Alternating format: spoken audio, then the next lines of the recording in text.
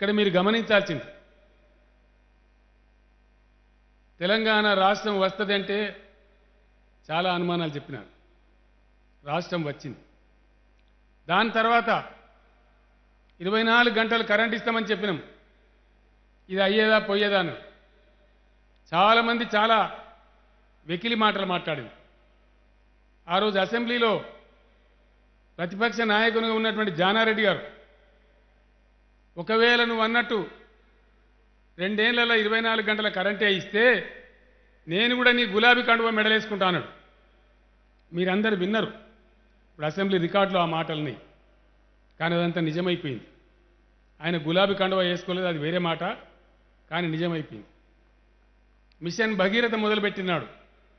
మంచినీళ్ళ పథకం ప్రారంభిస్తే ఇది అవుతుందా పోతుందా? గుట్టగా ఇంటికి కడతాడు కేసీఆర్ అని మాట్లాడింది. ఇలా ప్రతి ఇంటిలో కృష్ణా గోదావరి నీళ్ళు దుంకుతున్నాయి. దేశం దేశమే ఈ మంచినీటి పథకాన్ని చూసి మన రాష్ట్రానికి వచ్చి నేర్చుకుంటా ఉన్నది. ఇట్లా అనేక విషయాలు. కాళేశ్వరం కడతామన్నాం ఆ అయినాటికి లెక్క తీయ అన్నారు.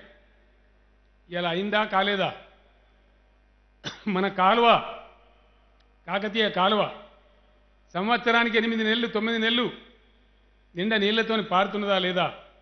మన కళ్ళ ముందే ఉందా లేదా? అదేవిధంగా ఏ పథకం పెట్టినా తెలంగాణ సాధిస్తామన్నా కరెంటు మంచిగిస్తామన్నా కాళేశ్వరం గడతామన్నా మంచినీళ్ళ పథకం తెస్తామన్నా అన్నిటికి కూడా అన్ని సందర్భాల్లో అనుమానాలు అపోహలు పెట్టినారు. నేను ఒక్కటే మాట మీకు మనవి చేస్తా ఉన్నా. ఒక నాయకునికి ఒక ప్రభుత్వానికి కావాల్సినటువంటిది వాక్శుద్ధి చిత్తశుద్ధి లక్ష్యశుద్ధి కావాలి. సాధించే గమ్యం మీద పట్టు ఉండాలి. అవగాహన ఉండాలి. ఆలోచన ఉండాలి. అప్పుడు నూటికి నూరు శాతం అది విజయం సాధిస్తుంది గమ్యాన్ని ముద్దాడుతుంది.